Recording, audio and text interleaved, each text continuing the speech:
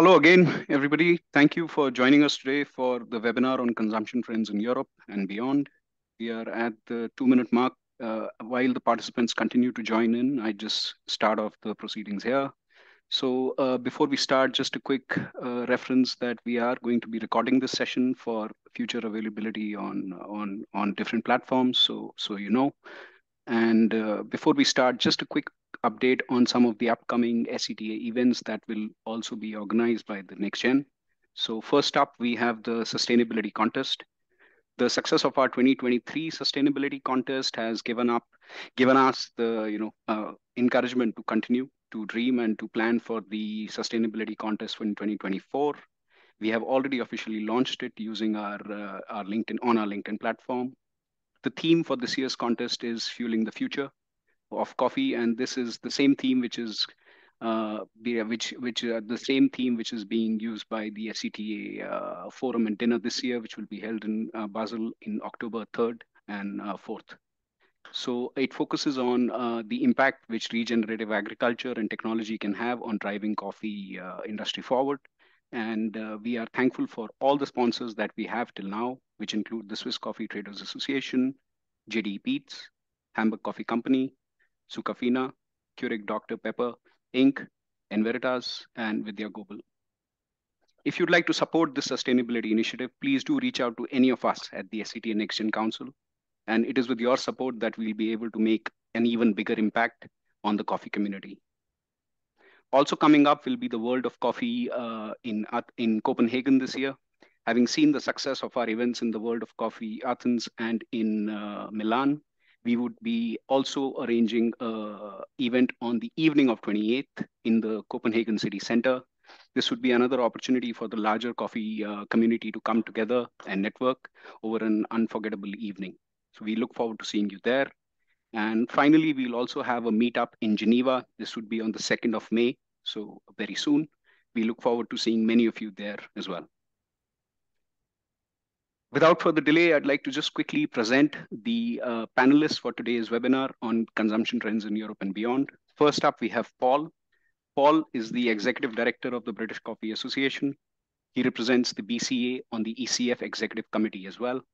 An agriculture graduate with postgraduate qualifications in law, he has 30 years of experience in trade associations covering policy, technical, and contractual issues. Previously, he has also served as the president of the EU body CELCA, C-E-L-C-A-A, the European Liaison Committee for Agriculture and Agri-Food Trade. Thank you, Paul, for joining us. Next up, we have Pavan. Pavan Adarsh has been with Olam for Olam Food Ingredients for over 13 years. In his current role as VP in OFI's Central Coffee Trading Desk, he handles the coffee research amongst other responsibilities. He holds a bachelor's diploma from the uh, Institute of Technology in Roorkee and a PGDM in from IIM Calcutta. Previously, he was part of the grains division in Singapore and was instrumental in building the wheat and the corn fundamentals. Thanks, Pavan, for joining us. And finally, last but not the least, we have Holger, Holger Preibisch. Uh, Holger is the CEO of the German Coffee Association, which is based in Hamburg since 2006. German Coffee Association represents coffee companies along various coffee uh, value chains across the chain.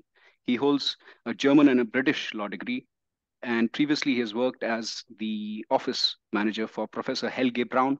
She was a member of parliament in Berlin.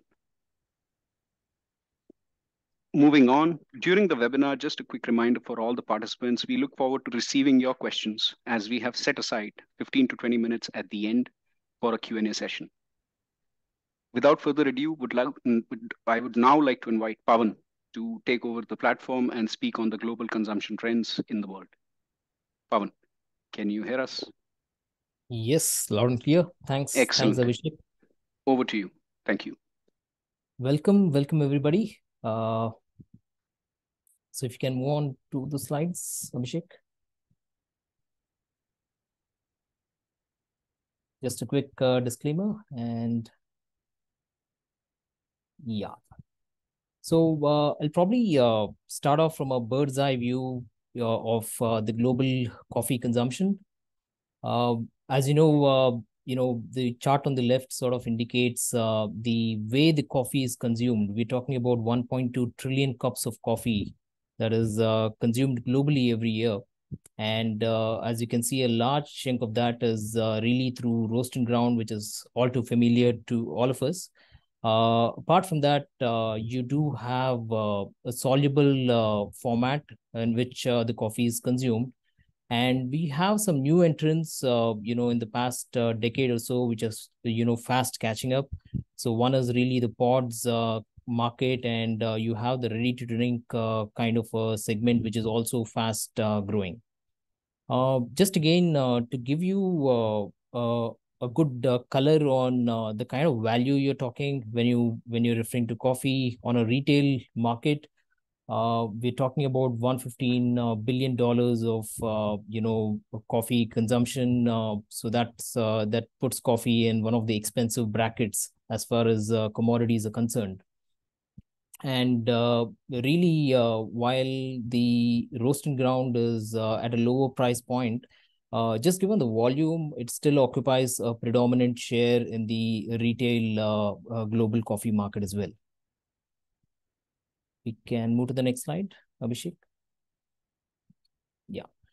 Uh, speaking about uh, production and consumption, uh, like most commodities, I think coffee is also fairly concentrated on the production side of things uh, uh, between uh, Brazil, Vietnam, uh, Central America and Colombia, we're really talking about three fourths of the total coffee consumption. Uh, we have an honorable mention of Indonesia, which is not far behind uh, Colombia. So really, it is a fairly concentrated pocket of uh, coffee production that we're seeing. And uh, on the consumption side as well, we do have Europe, North America, Brazil, and Japan really taking up around two thirds of the global consumption of coffee. Uh, while the overall profile of uh, production has broadly remained uh, uh, the same across the years, you know, between the you know producing countries, uh, the landscape on the consumption side has sort of changed in a material way. Uh, there's been a considerable amount of growth in the emerging countries and emerging clusters, and they have really taken the share uh, away from the traditional consuming markets like Europe, North America, and Japan. Uh, more on that in the uh, coming slides because uh, you know the emerging uh, clusters is a very important theme in the coffee consumption, uh, particularly in the future. Uh, and just before, just another point on the production of the total global consumption, total global production, you have two different coffees, which is Robusta and Arabica. Uh, the larger chunk is uh, really the Arabica. You're talking about 55-ish uh, to around 57%, and the rest is uh, Robusta. And uh, you will see that uh, that share is also sort of gearing towards the Robusta production. We'll explore the reasons why in the coming slides. And the next slide, Abhishek. Uh, well, I've I've been uh, with the coffee uh, markets for you know uh, over a decade, and uh, you know we coffee analysts. Uh, if there's one thing that we coffee analysts can hang our hat on, that's really the very steady growth uh, in the coffee consumption. Uh, you know the orange line on the chart of the on the left indicates the steady growth of around two to two and a half percent that coffee has been maintaining for uh, several decades. Uh, however, post-COVID, that particular trend has changed in a meaningful way. Uh, you can see that, uh, you know, post-COVID, the purple dotted line is the actual consumption that has sort of deviated from the baseline uh, uh, coffee growth. Uh, and that's not without reasons. So one of the main reasons is definitely the way the coffee is being consumed. There is a fair chunk of uh, out-of-home consumption in the overall coffee market, and that has say, taken a significant uh, hit. So that has really, you know, trimmed the overall consumption growth uh, quite a bit. Uh, apart from that, if you look at the chart on the right side, uh, the purple line indicates the overall price of coffee. That's really the weighted average price of coffee between Arabica and Robusta. And you can see that uh, when you peg it against the average, we are at elevated coffee prices. And in fact, uh, you know, this month, uh, the both the coffee markets have rallied significantly, and we are probably closer to the 200 mark than the 150. So all in all, it is a very uh, rich environment uh, you know, when you look at the historical prices of coffee. And in addition, uh, the red bars that you see is the interest rate. Uh, that's another factor which has been burdening the overall uh, wallets of the consumer. So a combination of, uh, you know, high interest rate environment uh, coupled with uh, high uh, coffee prices and the changing consumer trends has really you know changed the overall has pivoted the overall coffee trend towards a flat line than the traditional growth moving on well it is well, all is not doom and gloom. Uh, I know it is uh, sort of a you know dim picture when you talk about uh, the current coffee consumption narrative. Uh, but there are some very strong uh, underlying themes which are still there and uh, which are you know sure to propel some of the coffee consumption in the future. And one such theme is really the strong growth in coffee consumption, particularly in the emerging economies. The chart on the left indicates the share of the emerging country consumption in the overall coffee consumption. So you can see that uh, we have really moved from about a third of uh, overall coffee consumption to really almost a half. That's a significant uh, increase in the share of the emerging uh, basket in the overall consumption. And uh, the orange line below that indicates the producers' uh, consumption share, which is also increasing in line because that's only a subset of the emerging uh, countries. So that is an important theme, and that is really one of the strong growth drivers, as we'll see in the coming slide. Uh, but before that, uh, one uh, important implication of this change, or rather of this uh, share increase of uh, emerging countries, is the way the production is now gearing towards more robustas. Uh, as you know, uh, Robusta, uh, most of these emerging countries, you know, it could be the cultural palette, it could be the cost. They're more geared towards the Robusta consumption, and accordingly, the production has also switched gears and moved more towards the Robustas. Uh, in addition, Robusta, being Robusta, the more robust coffee, uh, is grown in the lower altitude regions and it can be quickly irrigated. It is uh, it probably has a better cushion against uh, weather events uh, which have been uh, of high frequency of late. And uh, because it is of uh, in, grown in a lower altitude the efficiencies of harvesting are also much higher.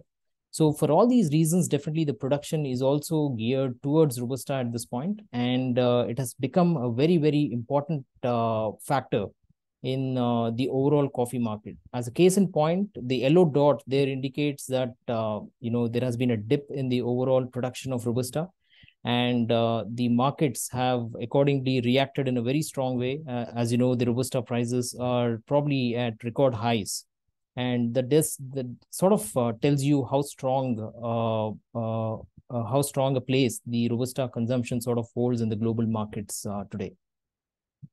Moving on. Uh, again, uh, just uh, just to nail down and double down on that, uh, you know, importance of uh, emerging country uh, consumption. The chart on the left sort of indicates the coffee consumption per capita among the various geological ge geographical clusters, and the bubbles there indicate the population. So very clearly, some of the most populous uh, clusters are very low on the overall per capita consumption.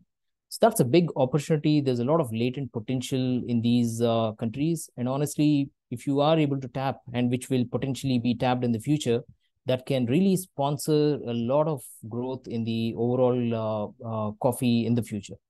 Uh, again, as a case in point, if you look at China and Turkey, uh, the overall imports have been pretty strong even in periods uh, like uh, post COVID, where I've already indicated that uh, the growth of the overall global uh, coffee uh, consumption has been uh, rather lukewarm. you can see that the emerging baskets have really performed pretty well. Moving on, uh, just to switch gears uh, quickly uh, to the patterns of consumption, uh, there are several patterns which are probably noteworthy. Uh, one is really the out of home, like I've indicated. It has taken a significant dip uh, during the COVID period. a lot of that share has been captured by the retail side of this retail side of the coffee market. And on the traditional and pods, the R&G segment has been declining. And that decline was uh, accelerated as a lot of pods markets have taken uh, the share away from the traditional R&G. Now, are these patterns are particularly important uh, as we move into you know matured markets like Europe and uh, North America. if can move to the next slide, Abhishek. So if you take the case of Europe, I mean, uh, from a volume point of view, it is a pretty uh, mature market. As you can see, really between 2010 to 2023, this really not much of a volume growth. Uh, but I think the the more important factor or the more important metrics that we'll have to be analyzing in these markets is really the way the coffee is consumed uh, as you can see, uh, while the overall volume is still pretty much the same, the way the coffee is consumed is materially changing. From the traditional R&G, now the share is being taken away by some of the new entrants like the pods, the ready-to-drink market. And I think an analysis and uh, a grip around these particular patterns can really uh, guide us better in the uh, overall, uh, you know, matured markets, which still hold a significant part of the overall uh, global consumption. So that's uh, that's really my global overview. I would think uh, uh, this would probably serve as a beachhead uh, so for uh, the upcoming uh, sessions. I think I'll hand over the dais to Holger, who will probably speak about specific markets in Germany Thank you so much for handing over to me. Very fantastic data. And now we will take a deep dive into Europe's consumption and in particular into the German consumption, the German coffee market. Within the next slides, I would like to convince you that Germany is a coffee nation. Many people believe the Germans would drink only beer and yes, we drink quite a lot of beer. We drink per capita per year 90 liters per capita per year. The better news for all of us is we drink even more water than beer, 123 liters per capita per year. But the very best news for all of us is we drink more than 160 liters coffee per capita per year. So coffee is the most consumed beverage in Germany. And uh, this can only be done because we import quite a lot of coffee. Around 1 million tons of green coffee are imported per year into Germany. So Germany is the second largest importer of green coffee in the world after the US. Here you can see where the green coffee comes from. The ranking is Brazil, Vietnam, Honduras, Peru, Ethiopia, Uganda, Colombia, India, Indonesia. And here comes a fun fact, Belgium. So uh, I just uh, took it into my, to my presentation as a small fun fact. Uh, the German Authority for Statistics reports between all these coffee producing countries year by year, Belgium as a coffee producing country because of the port of Antwerp for sure, but they don't know that Antwerp is not a coffee producing destination. So, and we also have China in our ranking, PNG, Guatemala, and so on. So if you add all this, you come to around 1 million tons of green coffee. What happens with these uh, 1 million tons of green coffee we import? Um, to simplify the message, half of our imports we consume by ourselves. The other half of our imports, we process and re-export. And you can see it uh, in the green column on the right side for the year 2023 export. The second line, we are a world champion in decaffeinating. We export around 120,000 tons of decaffeinated coffee um, then also roasted coffee. We export 250,000 tons of roasted coffee. And also, um, when you look uh, further down the column, um, solid and liquid extracts, and also preparations. So uh, more than 60,000 tons of uh, soluble coffee in different forms we also export. Um, following the, the statement of the ICO, Germany is the biggest exporter of processed coffee in the world. So with these data, please follow my my conclusion. We are a coffee nation in Germany. Coffee is the most most consumed beverage. We are the second biggest importer of green coffee, and we are the biggest exporter of processed coffee.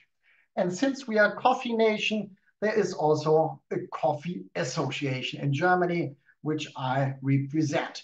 We do have uh, 360 companies along the whole entire coffee value chain we really start at the early beginning of the value chain, representing um, sustainability organizations. We do have uh, uh, the trading houses in our membership, shipping lines, banks, insurances. We have uh, all major brands in our uh, membership, as well as around 200 specialty roaster. And we have the manufacturers of coffee machines, the manufacturers of um, coffee uh, roasting equipment, and also coffee online sh shops but we also have retailers in our um, membership like Aldi or Edeka. Next chart, please. We have increased our membership in the last uh, 10, 12 years, uh, almost tripled from 128 members to more than 360 members. And what are we doing as a German Coffee Association? We have five columns. What we do first is a quality insurance. So uh, like uh, OTA, um, acrylamide furan. We have lots of databases. I, I strongly believe we have the biggest database for all these nasty components, how to handle them. We offer our members uh, lots of events, uh, more than 33 events per year, having 120 speakers every year on our stages. And we have uh, a huge portfolio in sustainability compliance. We offer a joint grievance mechanism worldwide. We have uh, special projects uh, for, for, sustainability in Brazil and Colombia. Uh, we have risk assessment uh, to be compliant with the German due diligence law and uh, the EUDR, which is coming into application end of this year. We have particular tools to support our members to be compliant with EUDR. We offer legal advice on all topics regarding coffee, and we do have a huge market research and database on coffee consumption. I think it's the biggest coffee consumption study across Europe we have. We ask more than 10,000 consumers every year, where do you drink, how do you drink your coffee, how much do you pay, what do you believe about coffee, etc. And uh, some data out of this market research I have brought with me. Next chart, please and also next chart. So with this chart, uh, we start uh, to look at the coffee consumption in, in, Germany. We look at the coffee consumption locations. Around 80% of the coffee is consumed in a private surrounding. So at home or at families or friends, home or in the home office. The other side is consumption out of home. Roughly 20% is consumed out of home consume out of home means gastronomy, workplace, canteen, cafeteria, coffee shop, etc. When, you, when we look now into the next chart, we see a split between these 80% and the 18%. So here we go, um, have, have, a deeper look at home, at the own home, we consume uh, two out of three cups. 66% of uh, our cups are consumed at the own house, at home, own flat apartment home. At Friends Place, we consume uh, around 7%. In the home office, we consume 7.8, let's say 8%. Then we look further uh, at the workplace, directly or close to the desk, to the work kitchen. So in the coffee kitchen, for example, at the workplace is uh, around 9% work training place in canteen or mensa is 3%. So if you add the 7.6% working home, working at workplace, and working training place, you can say around 18, 19% of the coffee consumption takes place at work. Very surprisingly for, for, for many uh, market observers is that the gastronomy has only a market share in Germany of 4.5%. of all the coffee consumption. And if you have a, a look on the top right, there's a list. What do we cover with this gastronomy? So it's a canteen, it's a coffee shop, bakery, hospital, kiosk, hotel, restaurant, takeaway, cafe, restaurant, motorway, rest stop, gas station, retirement home. So all these is under 4.5% of the coffee consumption in Germany. Not because we drink so less coffee in gastronomy, but we drink so much coffee at home or at the workplace that even the gastronomy is only 4.5%. Next chart, please. Now we look at these 4.5%. How are they split between these uh, typical places of gastronomy? And there we can see that the bakery has 36% uh, market share in the gastronomy. And uh, this is also surprising because um, the next one um, on this uh, wheel is 10% uh, for the coffee bar, for the coffee shop. Um, opposite to the US or to uh, UK, we don't have so many coffee shops. Uh, just to give you two figures, we have uh, 45,000 bakeries in Germany, but we have only 150 Starbucks in Germany. So um, uh, the bakery is in, in Germany actually uh, that one which is uh, a coffee shop in other countries. So next chart. Now we come to the home consumption. Which coffee machines does the coffee consumer has in the household? And here you can see that the filter coffee machine you can find in 42% of the households. The fully automatic coffee machine is in every third household, 32, 33% do have a fully automatic coffee machine at home. The, this uh, the um, the place of uh, coffee pot machine, instant, and also capsules machine is uh, around 20%. So in every fifth household, you can find a pot machine or some instant coffee or a capsule machine.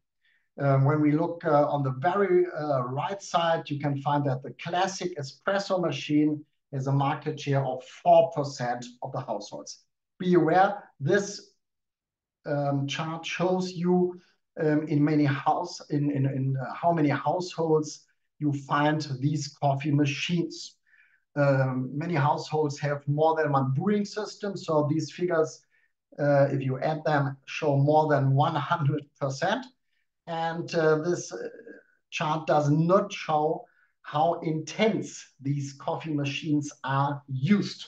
Um, you can see it, uh, for example, with the capsule machine, um, 17, 18% of the households do have uh, capsule machines, but the market share, if you look on the market share of capsules uh, in the coffee market, uh, in volume, it's around uh, 6, 7%. Uh, so this chart here shows how many households do have uh, which brewing system at home. Next one, please. Here you can see which kind of coffee drinks are prepared at home and also by which machine. We just look at the very left uh, column, total. Um, what we see here, black coffee, 32%, um, means actually that 32% uh, of all coffee cups consumed at home are what we call black coffee. So a regular coffee, to even simplify it, it's, it's filter coffee, you, you can assume. 10% are espresso, lungo, cafe crema. We call it black coffee specialties. Um, then we do have the coffee with milk, 44%, and also coffee specialties with milk. So you can see the German consumer really loves to have milk in its coffee. And following down the column, you also can see that um, uh, almost half of the coffee types consumed at home are sweetened, either with sugar or with sweetener. So the German consumer loves to have coffee, half of it with milk and also almost half of it with um, sweet. Okay, next one. With this graph, I would like to illustrate uh, the price segments of roast and ground and whole bean coffee in Germany. Um, this is euro per kilogram, including VAT and including the German coffee tax. So There is 2 euro 19 uh, on kilogram roast and ground or roasted coffee. So if you see that, uh, for example, uh, coffee is sold for 10 euros in Germany per, per kilogram, um, you can uh, take off uh, 2 euro 15 for taxes. So um, just to give you a, a brief calculation. And here you can see that 12 percent of the roasted coffee sold in Germany is under 7 euro per kilogram, including German coffee tax and inclu including uh, German VAT. VAT. And um, you can also see 48% uh, of the coffee is under 11 euro per kilogram. So coffee is actually not very expensive in Germany. When we look at the higher price coffee uh, on the bottom of this chart, you can see that 8.6% of the coffee, roasted coffee, is sold for prices higher than 25 euros per kilogram. And in the next charts, we look uh, at this uh, segment of uh, 25 euros per kilogram. And um, you might not be surprised, but it's also interesting to see it um, in the category of the whole bean the market share of coffee which is sold for 25 euros per kilogram or higher prices is higher here, 13%, than compared to the coffee roast and ground, where the market share is around 6% of the coffee which is being sold for a price higher than 25 euros per kilogram. Moving on, please. Who buys the coffee which is cheaper than 25 euros per kilogram and who buys the coffee, which is uh, higher than 25 euros per kilogram. Um, to make the message very short, buyers of high price coffee are typically younger, they are better educated, and they have a higher income. This, this one you can clearly see on this chart. Next one. And since this is a session, a webinar here of the next gen by SCTA. I also brought some uh, charts with me about generations. Let me look uh, at the very left column. Here you can see that uh, around 84%, if you add these 8, 21, and uh, 57 together, around 84% of all coffee consumers, of the whole population, excuse me, 84% of the whole population being 16 or elder uh, consume coffee regularly, 84%. Then we have a look on the generation Z. and there you can see that uh, the share of the uh, uh people in generation Z who drink regularly coffee is significantly lower, 16 plus 19 plus 26, around 60%. Yeah? Um, and then if you go up uh, with the elder generation, um, uh, again, there are significantly higher portions of people in that generation who drink coffee regularly. Um, this is not really surprisingly. We have seen this chart, you can say, in the last 15 years, it's almost the same. So we still truly believe that the generation, which is now the younger one, having less regular coffee drinkers uh, compared to the elder ones will enter the coffee consumption in the next years in the same way as Generation X or baby, baby boomer did uh, 20 or 30 years ago. Next one. And uh, here uh, we can show which kind of coffee drinks each generation prefers. The left one is again the total um, coffee consumer. Um, so um, all this, one shows 100%, um, uh, each column is 100% of the coffee cups being consumed by the uh, generation. So you can say 16% of all coffee consumers drink um, white white uh, coffee. So, sorry, we do not translate it here. I can see. So weiße Kaffeespezialitäten, 16% means cappuccino, latte macchiato, etc. Uh, then we have the 11% black coffee specialties. This means lungo, espresso, etc. Coffee with milk. And these columns you can see again, Generation Z consumes different coffee beverages than all other generations. Um, they drink with more milk. 34% is coffee with milk, uh, with foamed milk, so uh, cappuccino, latte macchiato, etc. And the 31% is um, coffee with milk. And you can see here very clear that uh, um, the younger ones love to have coffee with foam, milk foam. And the older the generation is, less milk foam is included in the coffee. So yes, there are significant differences in the generations, um, but we have seen these uh, exactly the same in the last uh, 15 years. Next one, and this is my last one. Um, we also took a look uh, at the milk which is added to coffee because, as I mentioned earlier, uh, we have seen that the younger generation loves to add milk or foamed milk into the coffee. Uh, are there differences between generations? Uh, which kind of milk is added to coffee? Yes, definitely. Generation Z is significantly more likely to use whole milk. They love to have vegan milk alternatives and also they use more lactose-free milk. In big contrast, uh, Generation Z uses much less uh, coffee cream or condensed milk. So this was my view into the German coffee market. We are a coffee nation.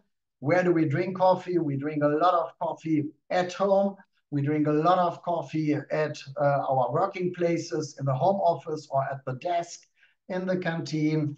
And there are differences in the generations, how coffee is being used. The filter coffee machine is still the main machine at home, followed by the fully automatic machine. So if you have any questions uh, on the German coffee market, happy to answer. And with this, I move on from Germany to the UK. Paul, my colleague from UK, will continue to give an insight about the UK consumer trends. Thank you. Holger, thank you very much indeed. That was that was a great dive into the sort of the detail and slightly envious of some of the statistics that you're you're able to sort of get to. But uh, um, some some interesting similarities, I guess, but some probably still one or two contrasts as well. So we'll we'll sort of move into look at the UK situation. Uh, if we can move on to the that's it. Thank you. So a quick overview of the of, of the UK market. Um, overall consumption approximately 100 million cups a day. Holger talked about Germany being a coffee nation. I think the UK is considered historically to be a tea nation. Um, I think now we're very close to parity between tea and coffee on a uh, on a daily sort of basis. Um, around 30% of the UK population drink more than three cups a day. But interestingly, I think we've seen the statistics change slightly over time so that the percentage of, of people drinking more than four cups a day has come down slightly. And I think that perhaps is evidence that that some of the um, uh, points about uh, too much consumption, too much coffee consumption, or too much caffeine in particular uh, has has hit home. So people have moderated at the higher level uh, slightly over over the years. Uh, we'll come on in a moment to talk a little bit more in detail about the coffee shop situation, which is perhaps a contrast with with Germany. Uh, but here we have 81% of consumers who are say that they visit coffee shops on at least a weekly a weekly basis. Now, obviously, the, the UK doesn't have such a big consumption um, either per capita or, or in total as, as Germany, and, and our consumption per capita is only around 60% of of the overall EU average. But we, we are still the 10th biggest uh, coffee consumer globally. Um, in, in terms of green coffee, we're bringing in around about 100, 150 to 160,000 uh, tons uh, a year. Uh, we're also exporting around 20,000. And then alongside that, we have about 80,000 tons of roast and ground and soluble coffee coming in. But again, to contrast that, there's probably 60,000 tons of roast ground and, and, soluble being exported as well. So the UK is very much a, a market of, of both import and, and export, particularly in the in the value added side. Um, we've got one or two figures. Sorry, just quickly back on that first slide. We've got one or two figures that that, that look at things post COVID, post Brexit as well, which obviously we've we've had to factor in. And I think it's it's fair to say that if you look at the figures from 2023, the recovery in the coffee sector, and we'll look in a little bit more detail in a moment, has outperformed the hospitality sector as a whole if you look at the the recovery, particularly I guess from COVID, and then also factoring in the the cost of living as as we've seen in the last couple of years. So moving on to that next slide. And we've talked about average consumption. Here you'll see a bar chart that shows average consumption. That's average number of cups, cups of coffee, sorry, uh, consumed. Uh, the age ranges of 18 to 34, 35 to 54, and then the over 55s. Um, from three surveys that, that BCA has run over the past few years in 2018, 2020, and again in 2021. The 2021 is the only, obviously, the only one that comes post COVID. Um, and we'll see a slight decrease in all of those three age sectors in terms of the average consumption. But I think we might also reflect when we get towards the end that this may also show the, the sort of the differences in the, the different forms in which people are consuming coffee and, and maybe which we haven't been able to pick up in, in the statistics. And then if you look at the at the pie chart on the on the right hand side, you'll see the split of where coffee is is consumed in, in the UK. And and again some, some differences with what you saw from, from Germany. So our biggest consumption area is in home as as it was in Germany, but only 55%. Uh, around 18% is consumed out of home in, in shops, in cafes, in restaurants, and in bars. And around 27% is consumed within the within the workplace. And that can be vending machines in workplaces, it can be staff canteens, it, it can be simply kitchens in offices. If we look at those figures and compare them to, to the sort of the pre-COVID period, we'll see that the at-home figure has risen by around 5%. Uh, and I would suggest, although we don't have the, the, the data to back it up, but I would suggest that that increase picks up largely people who are now working from home and consuming coffee uh, at home while they work. The out of home has dropped by around 2%, and the workplace figure has dropped by around 3%. So uh, perhaps the workplace is still slightly higher than some of us might have uh, expected to see. Um, so if we can move on to the uh, the next so we talked about the, the number of coffee shops, and here we're just looking at, at, this stage at the branded coffee outlets. So some research that was done earlier or published earlier this year, and you can see that the UK has around a quarter of all of the branded coffee shops uh, in in Europe. Uh, we'll, we'll, consider ourselves as, as, being part of Europe for, for this statistic, uh, and comparing that with with Germany at, at around 14%. And the European figures suggest that uh, of that uh, split, and I think Holger talked about the 40, 45,000, I think, outlets in, in Europe as, as, as a whole. Uh, you'll see McCafe is is there in the number one slot, followed by Starbucks, uh, with uh, probably a more UK-centric business Costa coming up in, in in sort of third place. But if we move to to look at the next slide, which brings that down a little bit more to the UK situation, you'll see we have split here um, the total coffee shop picture for the UK between branded stores and independent stores. And you'll see, interestingly, although we, we, we look at the, the size of the of the branded uh, number of outlets in Europe as a whole, you'll see when we get into the UK, uh, over half of the number of shops are independent. So they they are small chains um, or or single ownership uh, coffee shops. And you'll see that in if we look in the to the right hand side of that pie chart, the branded sector, um, Costa uh, was third in, in Europe, comes out in first place in in the UK. Second goes to, to Greggs, which, uh, if you know it, is is a, a, a, retailer of coffee, but also a retailer of a lot of bakery products. Um, has become very popular in the UK in in the last couple of decades. Uh, you'll see Starbucks coming in at at six percent in in three, and then seventeen percent uh, within other uh, branded outlets, um, Caffè Nero, Pret, etc. would be those. So it does show that actually the UK has a very strong independent coffee shop sector. We have around 25,000 uh, coffee shops in total. But also important to note that's not the end of how people consume coffee out of home, because in addition to those 25, 24, 25,000 coffee shops, there are a whole lot of other ways of people accessing coffee through vending machines, uh, through express uh, machines, which will sit in uh, service stations, they'll sit in, in garages, in petrol stations, fuel stations, uh, but also in smaller retail outlets. Uh, smaller supermarkets will often have a machine there that will deliver uh, a wide range of, of coffees on a an as to go basis, so grab and go as, as as we might sort of call it, and and that that has been quite an important growth area for the for the the market in in the last five or six years, but certainly in in uh, since the since COVID. Um, so moving on to the uh, next slide. Conscious we want to leave a, few minutes for uh, for questions. Switching away from the coffee shop to look at the retail. So uh, looking much more at the in-home market, you'll see there that retail sales went up by 4% in, in 2023. I think that probably reflects back to some of the, the figures that Pavan showed at, at the start. Um, and that retail market is uh, just over two billion pounds in, in terms of worth.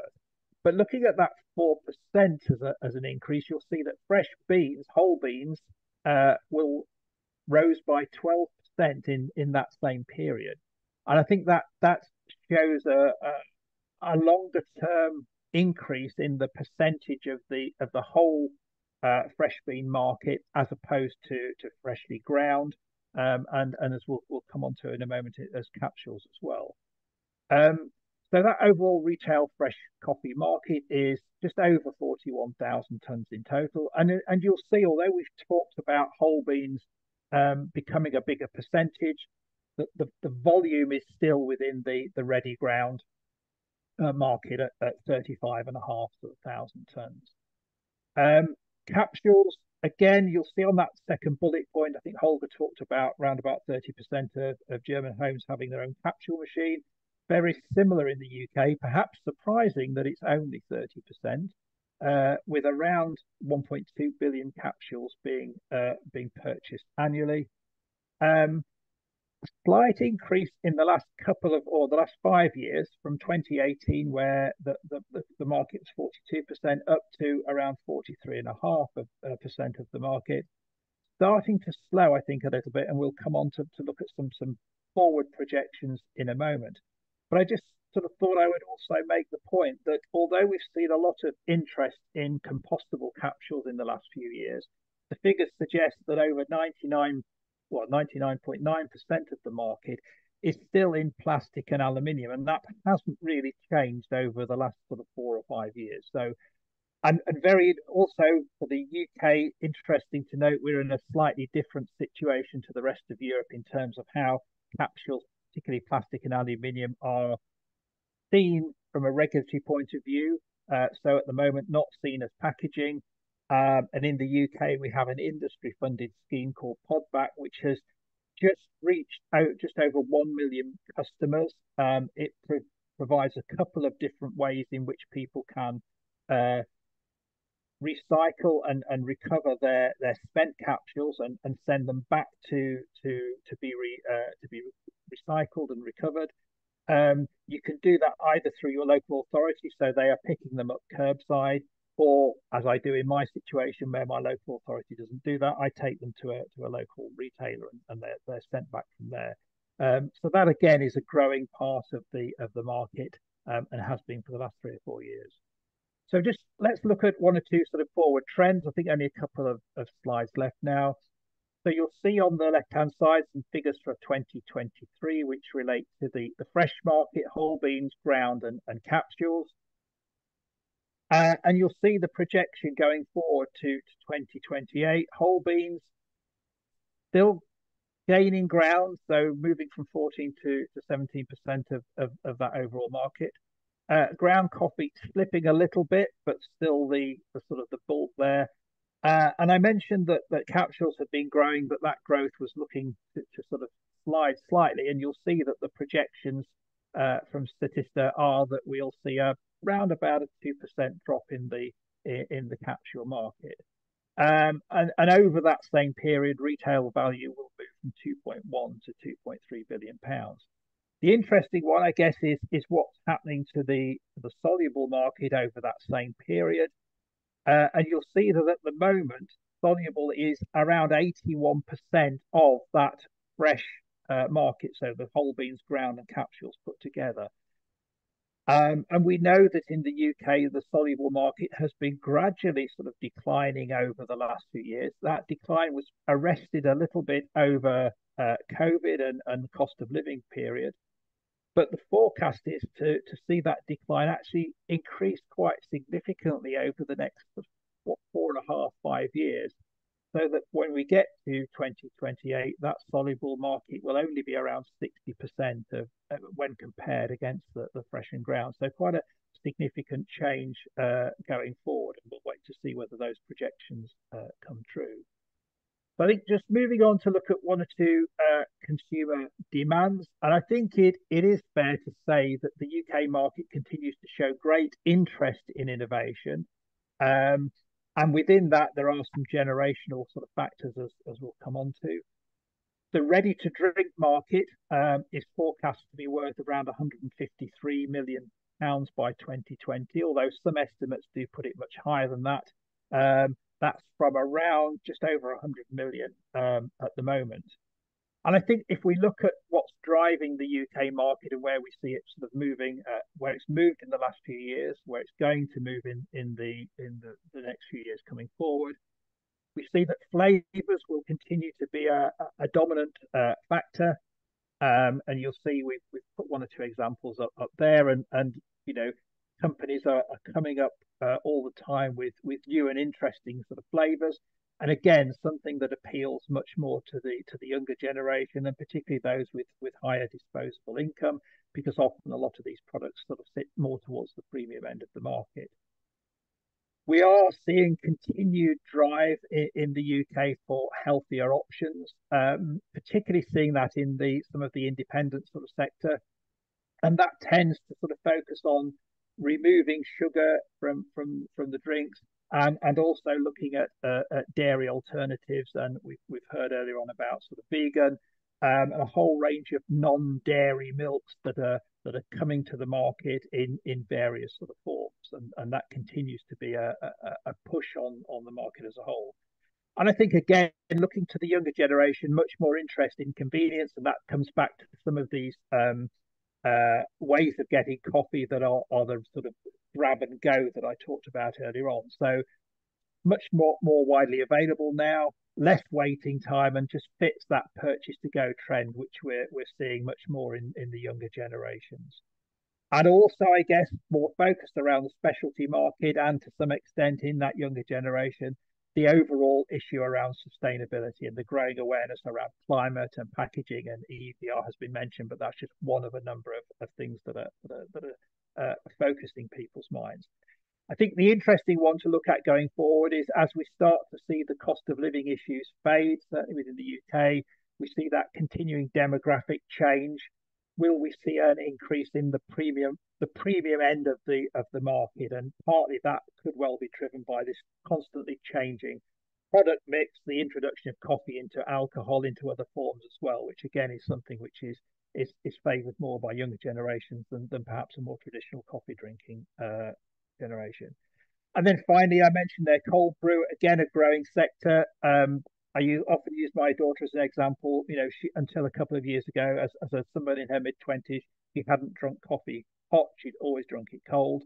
Um, interested in in cold brew, and and as an association, we're we're looking at how we react to that, and maybe bringing in some guidance to to ensure that the, the industry as a whole understands where cold brew sits and and what what what guidance or best practice should should sit around that. Um, so I think those are the areas that that that are, will will see more and more prominence uh, going forward. And as I say, I think you know, leaving with that that first point again, that from a UK point of view, uh, a very innovative market, and I think we see that continuing into the future. Uh, so conscious we're a little short on time, but happy to take some questions. Thank you. Back to you.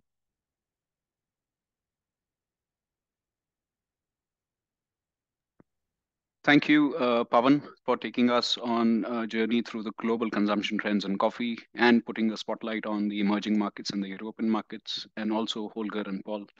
Thank you for your time and taking us on a deep dive into the consumption patterns in the German and the British coffee markets, respectively.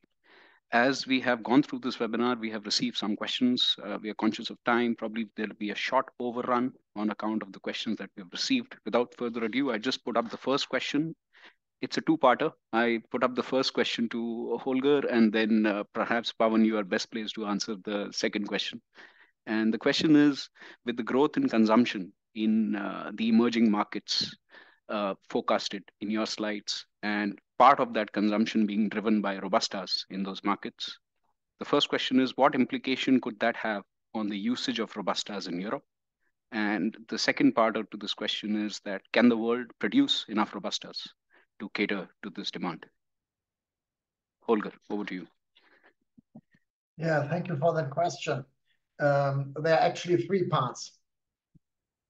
First part is, does the consumer wants to have more Robusta?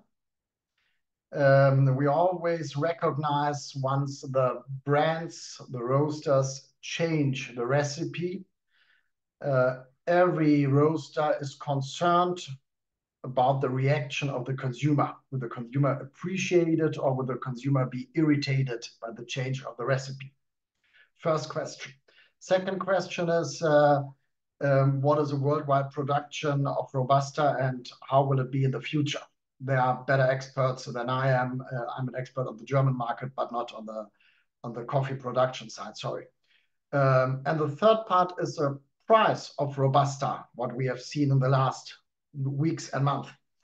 And this brings me uh, to a very different story. I still wonder why Robusta is not seen part of Robusta as specialty. And I think there's huge potential to introduce Robusta, parts of Robusta as specialty. And uh, once we have um, succeeded to place that one, we can introduce also lower grades of Robusta in the mainstream products because then the consumer is more and more educated to the taste of Robusta, which does not have to be a bad taste. I would, leave, I would like to insist.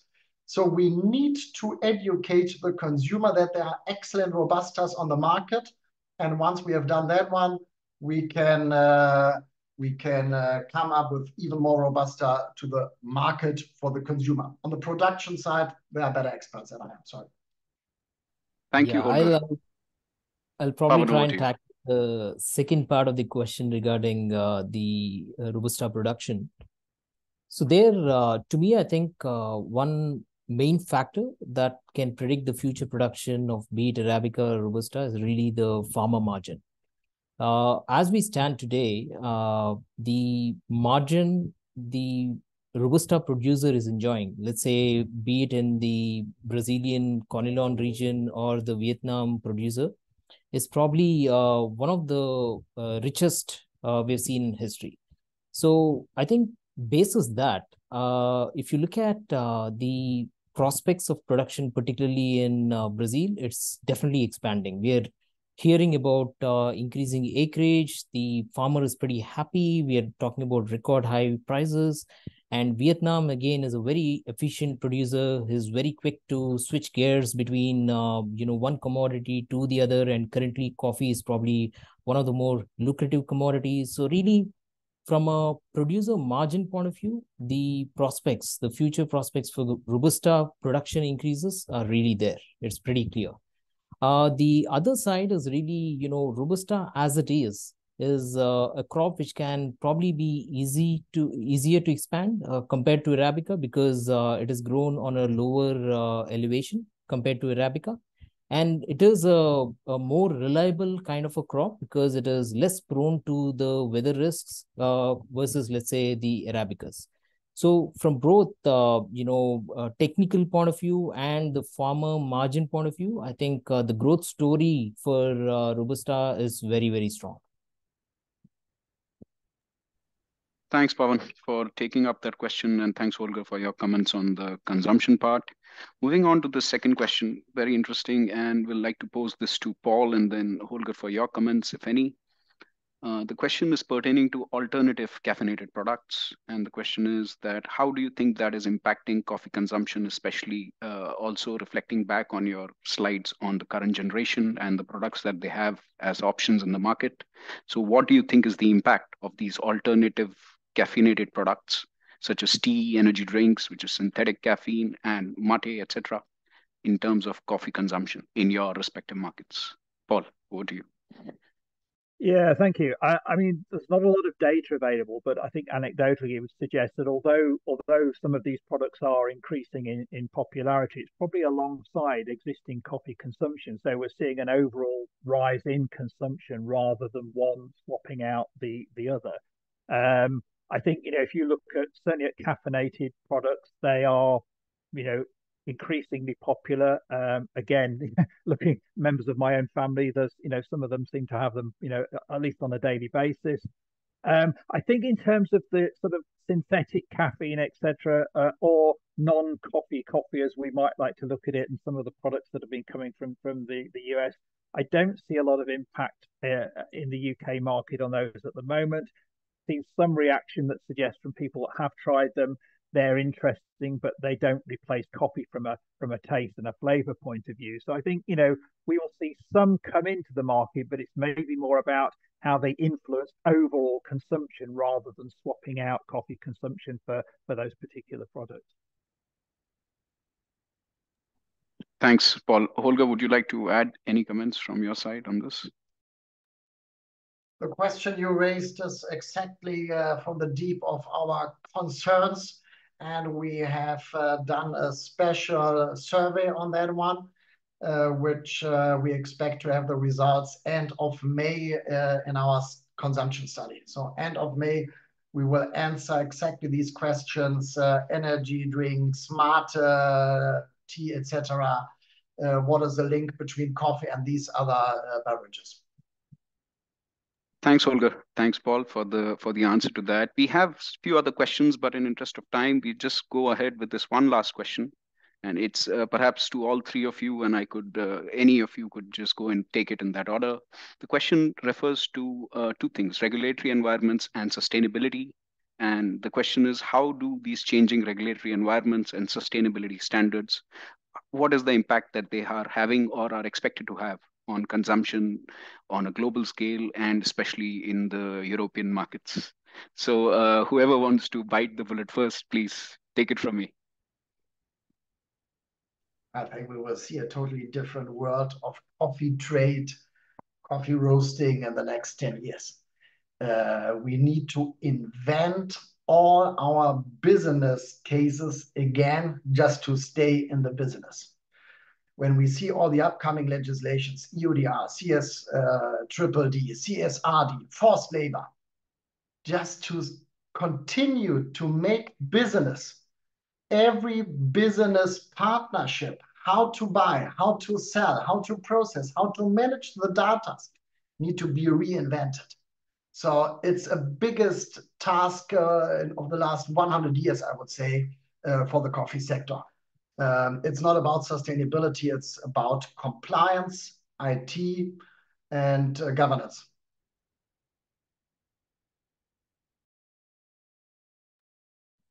Thanks, Holger.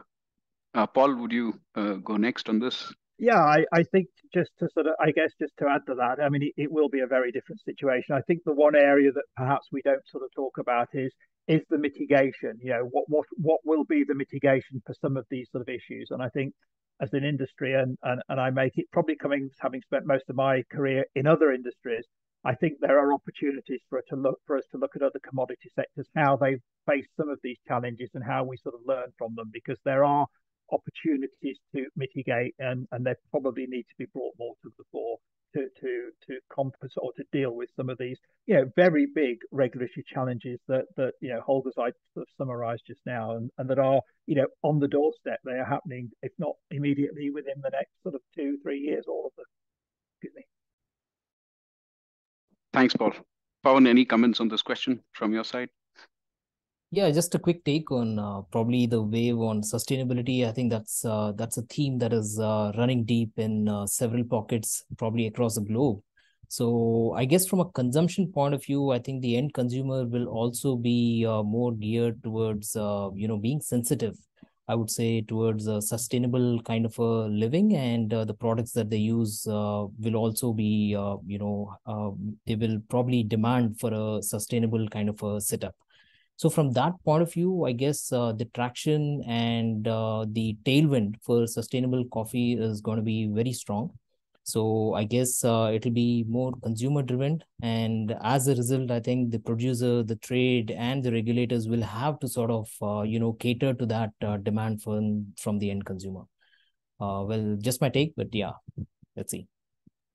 Well, with that, I would just like to give my sincere thanks to all three of you, Pavan, uh, Holger, and Paul, for your time and for sharing with us your thoughts today, for sharing with us this data. This uh, really, it was a deep dive on all the aspects of consumption across the world and then in your respective markets in Germany and the UK. Again, a sincere thanks to also to the participants who have hung on with us. Uh, we have overrun by nine minutes, but thank you all for participating today, for uh, posing us with your questions, and for joining us for this event. I wish you all a very good day and a good week ahead, and looking forward to seeing all of you in some of our upcoming events. Thank you.